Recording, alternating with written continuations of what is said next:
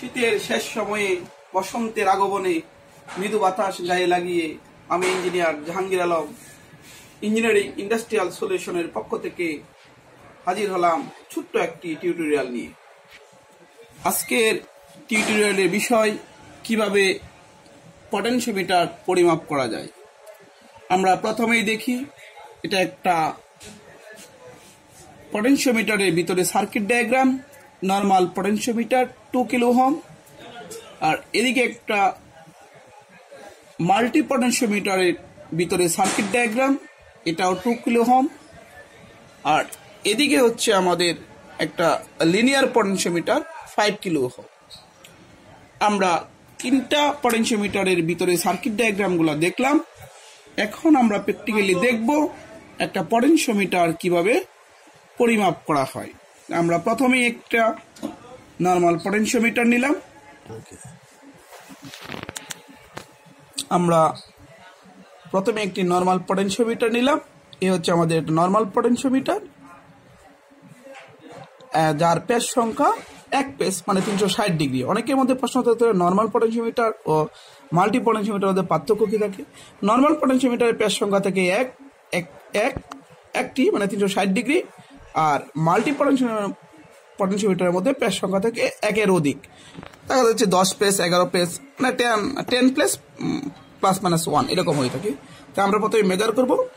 এই এক এবং দুই, এক এবং তিনের মধ্যে ধরবো মাল্টিমিটার ধরবো। এই জায়গায় একটু দেখা। এই এক এবং তিনের মধ্যে মাল্টিমিটারটা ধরবো।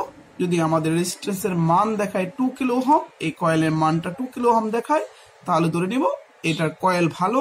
এরপরে যখন এক আর দুই এর মধ্যে ভেরি করব, যদি আমাদের রেজিস্ট্যান্সের মানটা বেরি হয়, তাহলে ধরে নিব আমাদের এই পটটা ভালো আছে। আর যদি পরের মান নর্মালি এরকম টোকের জায়গা ওয়ান মেগাও হোক অথবা জিরো জিরো মেগাও হোম অথবা সিক্স কিলো হোক অথবা এরকম দেখায় zero point eight megohm তাহলে আমরা ধরে নিব আমাদের এই পটটা ভালো না। ওকে আমরা প্রথমে মেজার করি। এক আমরা এই মাল্টিমিটারটা, প্রথমে মাল্টিমিটারটা অন করি। মাল্টিমিটারটা অন করে আমরা এই উহমের গড়ে নিলাম মেগা এই যে উহম রেজিস্ট্যান্স মাপার জন্য। তো আমরা প্রথমে এক আর তিনের মধ্যে ধরলাম। দেখি আমাদের রেজিস্ট্যান্সের মান কত দেখায়।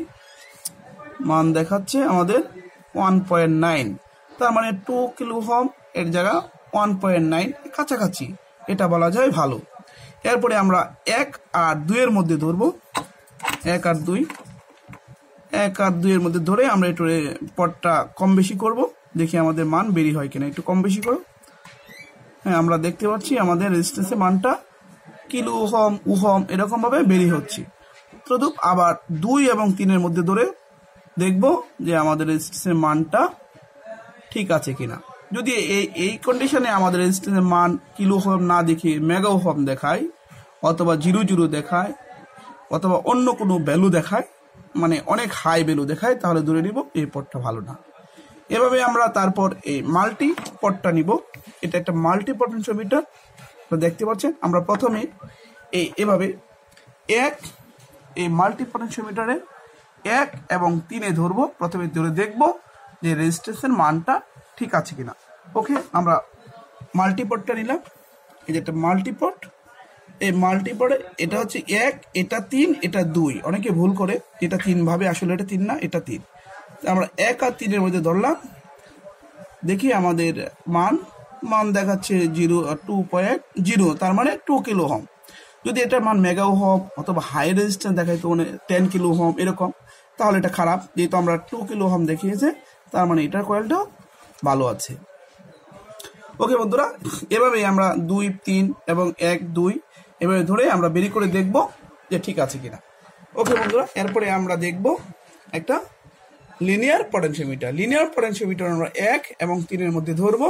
ধরে দেখব তার মান ফাইভ কিলো হোম দেখায় কিনা।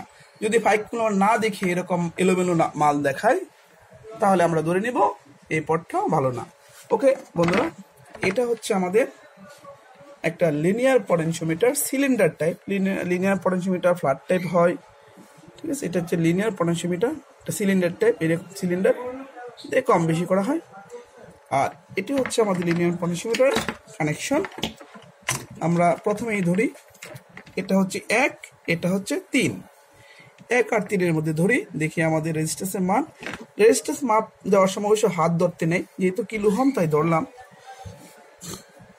এটা হচ্ছে দেখাচ্ছে ফোর পয়েন্ট নাইন এইট তার মানে ফাইভ হ্যাঁ আমাদের এই লিনিয়ার পোটেনশিওমিটারেও মানটা একুরেট আছে। তার মানে লিনিয়ার পটটাও ভালো। আমরা একটু বেরি করে দেখি। একটু পটটা ধরো। আমরা এখন এক আর তিন দুইয়ের মধ্যে ধরবো।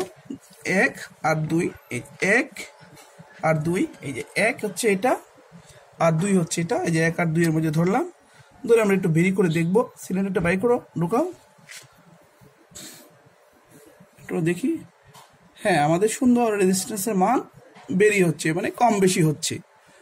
এতে বোঝা গেল যে আমাদের এটাও ভালো আছে।